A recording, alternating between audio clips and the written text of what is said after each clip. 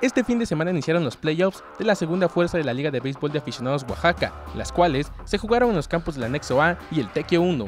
El primer encuentro lo disputaron Agropapas y Estacionamiento Reforma, de Joaquín Neira.